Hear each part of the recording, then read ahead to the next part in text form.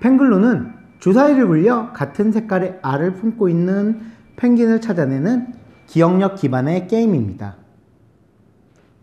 게임 목표에 대해 설명하겠습니다. 이 게임에서 이기려면 먼저 알을 품고 있는 펭귄 6마리를 모으시는 분이 이깁니다. 게임 준비에 대해 설명하겠습니다.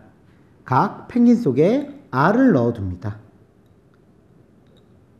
그래서 가운데 펭귄을 놓고 섞습니다. 그리고 각자 빙하 점수판 하나씩을 가져갑니다. 이러면 게임의 준비가 끝납니다. 게임 방법에 대해 설명하겠습니다. 자신의 차례가 되면 주사위를 두 개씩 굴립니다.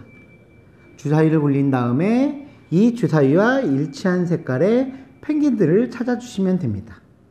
먼저 한 사람당 두 번씩 알을 찾을 기회가 주어지고요. 펭귄을 들어올 때는 모두가 알 색깔을 볼 수 있게 명확하게 들어주셔야 합니다.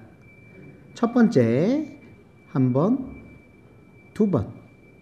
이렇게 두 번을 찾았지만 알을 찾지 못한 경우에는 펭귄을 그대로 덮어두고 다음 사람에게 기회가 넘어갑니다.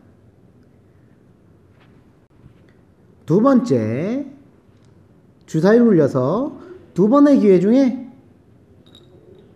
한 가지의 색깔만 찾았을 경우에는 그 찾은 펭귄을 자신의 점수판으로 가져가고 나머지는 덮어둡니다.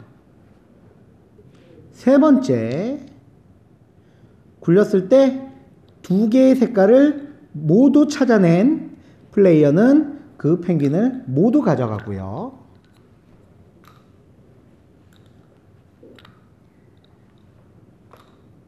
다시 한번 주사위를 굴려서 차례를 한 번 더 갔습니다.